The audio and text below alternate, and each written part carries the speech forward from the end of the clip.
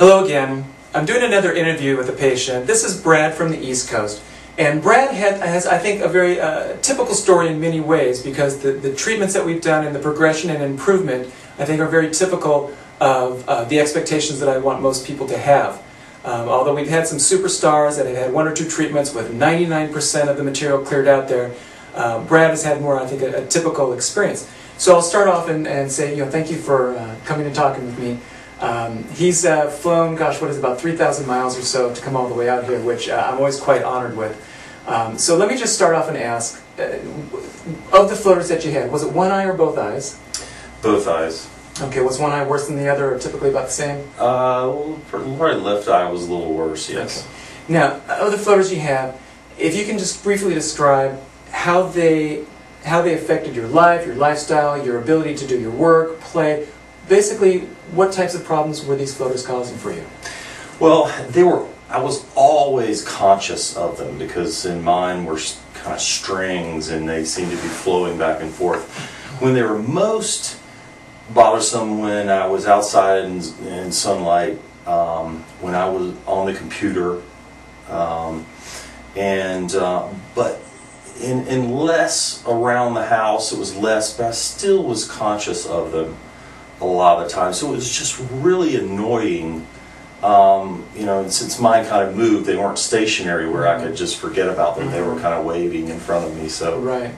it was just becoming an annoyance, and to the point where it almost kind of gets you down. Yeah. Because you just you're like, gosh, do I have to live with this the rest of my life? And I think you're like most people, where it's not preventing you from driving. You're a, a, a business owner you're obviously uh, you know young. You're you're very functional in your life and lifestyle. Enjoy photography. Uh, spend a lot of time um, um, post processing your photos with yes. Photoshop and doing some things like that.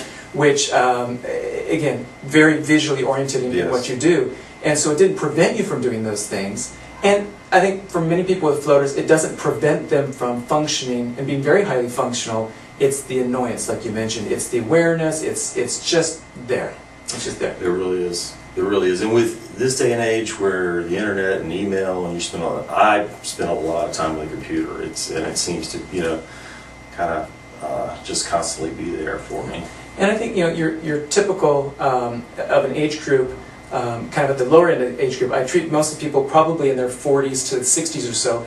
And I know that people in their 70s and 80s have a lot of floaters, but I think that it's a different generation. They're less likely to get on the internet and do a Google search and find, try to find a solution, and probably more likely to just to accept what their eye doctor has told them, which is, eh, it's just a floater. You just have to learn to live with it.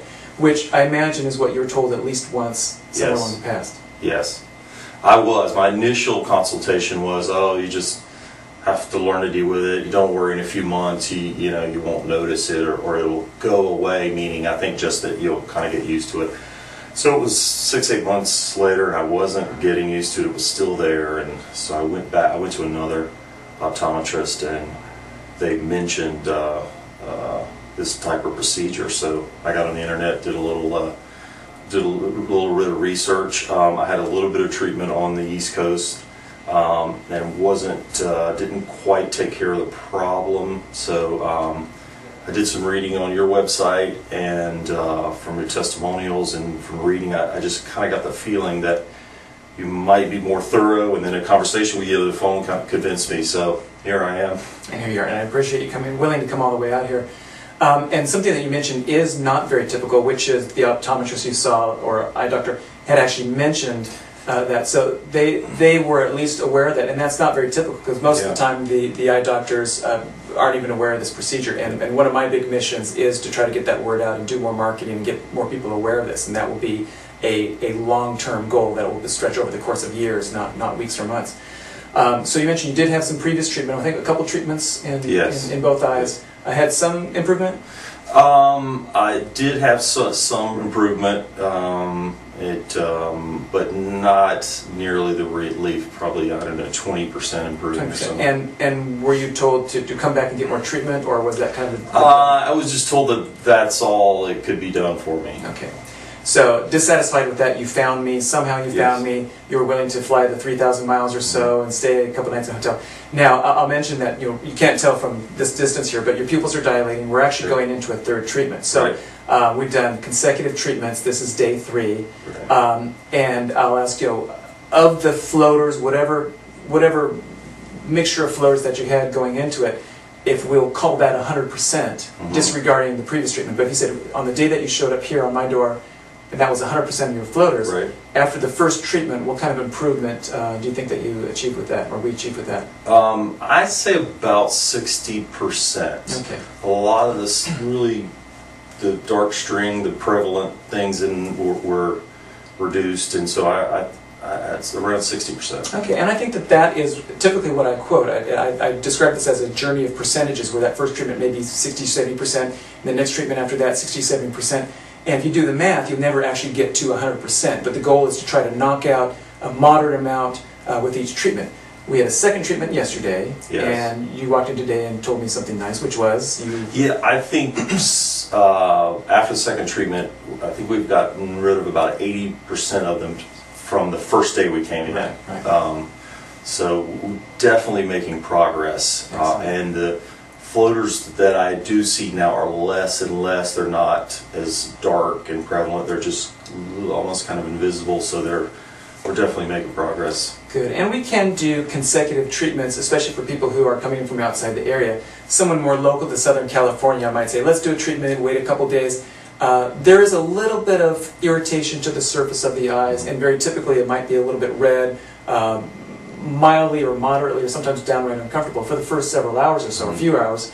Uh, you usually wake up in the morning reasonably comfortable, is my guess. Uh, Yes. So it is really just a surface irritation, just probably from the contact lens that I use. And you know, fortunately, the eyes recover very quickly. Uh, so you walked in today with white eyes, and you can't really even tell that anything was done to it. So, so that's good. The eyes do recover very quickly. So we're uh, preparing to do a third treatment today. We have the option maybe of doing a little bit of light touch-up tomorrow if we need to, or we might say today, you know, we're done, and, and, if we can get you to, I don't know, eight, you know, 90 plus percent, I think we'd both be very, very happy with that. Um, I guess very briefly, if you had a message, if, if you figure people are watching this maybe on YouTube or maybe from my website, and you figured they were in the same boat you were at some point, they were trying to gather some information about floaters, and, and admittedly, again, there's not very much out there. I've tried to make my website really a very comprehensive resource, and I'm getting better and better at it all the time, um, as far as the graphics and the information. But if there's a message that you, as a, as a patient who, uh, who's taken the risk, who's found a treatment, uh, you know, almost on your own in some ways, um, what would you want to tell the people who are in the same boat you are? Well, I want to say that um, I hopefully I share with a lot of people and what I've read on the internet is it can be very frustrating. Um, it's I've even read where it just gets some people into depression. Uh, it, it does have a tendency to get you down, um, and the treatment may be a little bit, uh, you know, seem a little scary, but the treatment itself was really. I mean, you don't feel anything. I mean, you hear some clicking noises, and it was really easy. Um, there's a little bit of irritation in the eyes, but I would I would say um, if you do have the floaters and you're really frustrated with it, that to me it's been worth the money to fly over here and get a hotel and you know go for the treatments. I mean, it's just such a quality of life difference from before. So um, I would just say if anybody has any apprehension of it, it's it's um, I think it's worth worth the uh, the treatment. Yeah, and I've, I've come to realize that, and, and really thinking about floaters uh, quite a bit over the last year and a half or so, I've come to realize that it's not, it really isn't so much an eye problem as it really is a much more comprehensive visual perception, uh, psychological issue. And I think particularly for, for very highly functional people in their 40s, 50s, and 60s who are working, they're, they're playing, they're socializing, and they have these things, the thought of having to deal with these floaters for the next 20, 30, or 40 years, it is kind of daunting. I mean, I think it Yes. is, that's the depressing part of it. Um, it's different than maybe being older and developing some, you know, the body's starting to fall apart. Yeah, you kind of expect that. But I think this is something who, for people who are otherwise dynamically healthy to have this thing, and really in a way a visual disability in some way, um, is is really quite something. So it is uh, for myself professionally, it's very exciting to be a part of something that is very innovative And it's very rewarding for me to be bringing relief to people who otherwise would have to just suffer this for the next 20, 30, or 40 years or so.